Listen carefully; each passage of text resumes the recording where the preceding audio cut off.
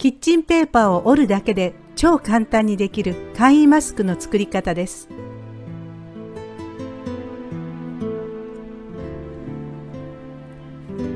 キッチンペーパーを2つ分切り取ります。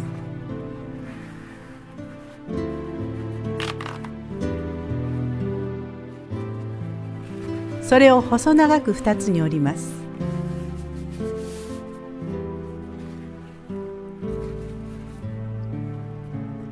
真ん中にラッピング用のビニールタイをセロテープで貼ります。これがノーズワイヤーになります。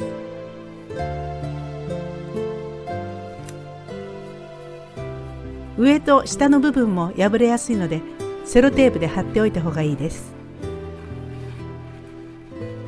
これを半分に折ったらストッキングで作った輪ゴムを通します。ストッキングは柔らかく耳が痛くなりにくいです。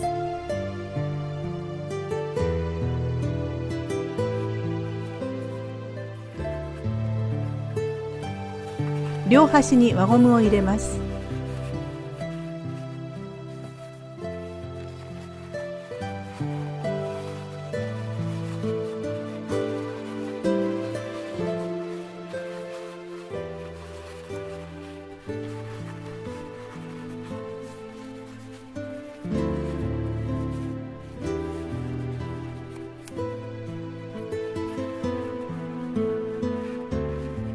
端を内側に折り込んで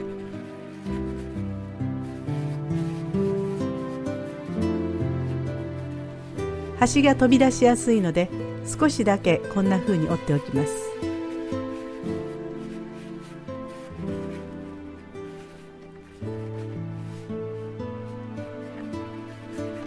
これを2つ折りにしてラッピング袋に入れます。ラッピング袋とビニール袋はセットで100円ショップに売っていました。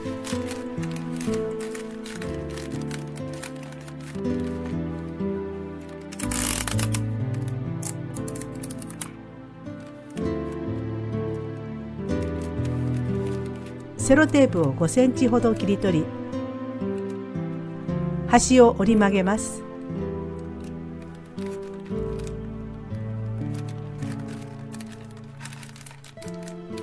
これで口の部分を留めると後で剥がしやすいです。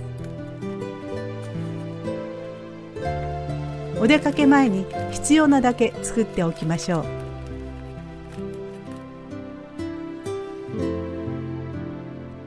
こんな緩衝材がある場合は切って使うとちょうどいい大きさの袋になります。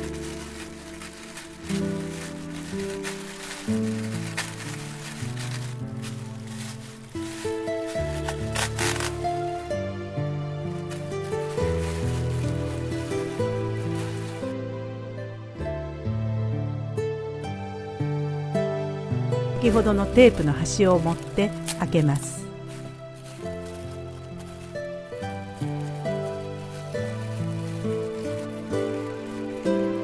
袋から新しいマスクを取り出しこれを顔につけます。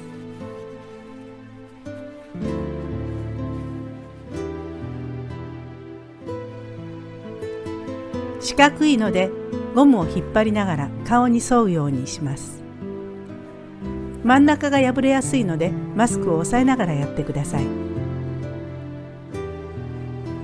次に鼻のところのワイヤーを押さえて全体を顔にぴったりとくっつけたら完成です。髪を下ろしてみましょう。こんな感じになります。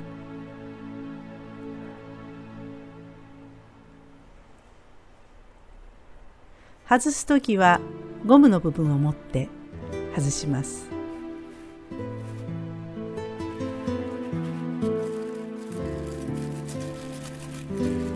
先ほどの袋に外したマスクを入れます。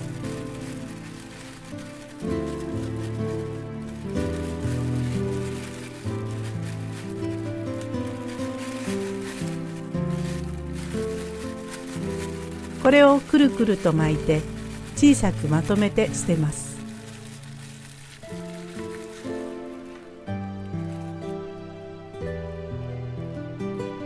他の材料でも同じように作ってみました。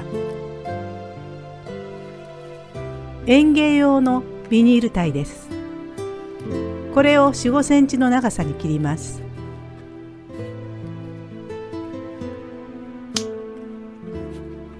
あとは同じように作っていきます。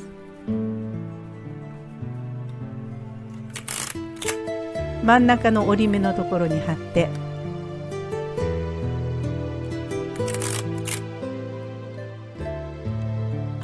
破れやすいので上下にもセロテープを貼っておきます。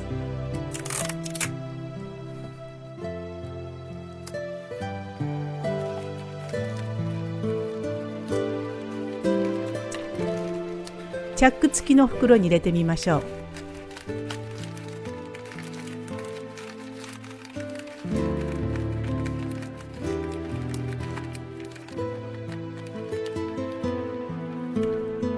ギュッと押さえて空気を抜いてチャックをするとこんな風にぺったんこになります。